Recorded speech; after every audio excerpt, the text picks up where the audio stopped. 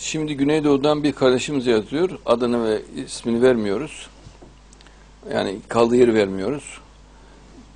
Cizre'den yazıyor. PKK için diyor ki bak alçaklar şehire e, alçaklar şehire taşınmışlar. Taşımışlar savaş. Bak alçaklar şehire taşımışlar savaşı. Hiçbir halk, hiçbir kimse umurlarına değil. Mesela geçen gün amcam anlattı diyor. Demirtaş'ı da çok kötü bir şekilde tehdit etmişler. E kardeşim nasıl bilirim ben? Nasıl bilirim?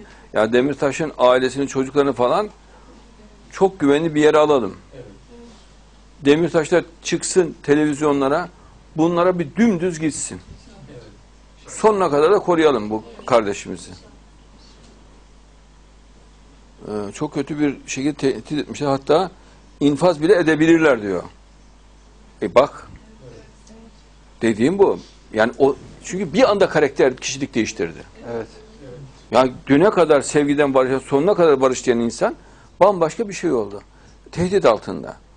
Yani hemen savcılık gereğini yapsın, koruma verilsin. Ama öyle iki polis değil. Esaslı bir koruma yapalım.